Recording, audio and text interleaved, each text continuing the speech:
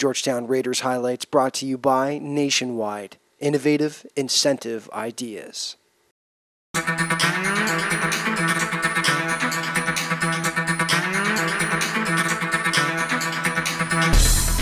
update you on the stats and the scoring, and the Raiders score right off the draw.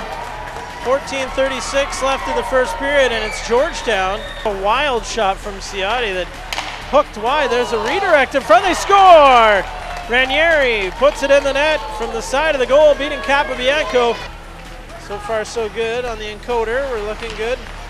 Still up online. In front, there's an easy one for Scott Wilson as he has given the Raiders back that. Pearson Heberbrand working on it. Heberbrand, Avgeranos, he shoots and scores! Nick Avgeranos with a rocket to the. And now we'll have a look back to the point. He'll float one to Wick. Van Dyke shot stopped and it goes off the skate and behind Branco. Kevin Van Dyke may get credit for the goal. Puck cleared to the line Avgeranos will keep it in. Sends it on for Gervasi. The blind pass for Hebra. Across for Pekka, and he scores. Constantinides squeezes Pinto along the boards. Now Pinto has a chance out in front.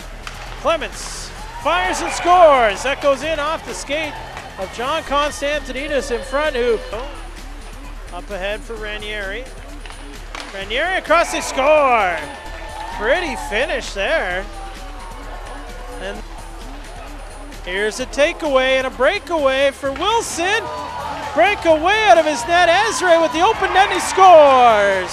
A short-handed goal for Kyle Ezra, who thought he had break now for Heberbrand. Got Pekka going to the net. Back for Ezra. His shot stopped. Ezra scores. Kyle Ezra with a beautiful shot from the side.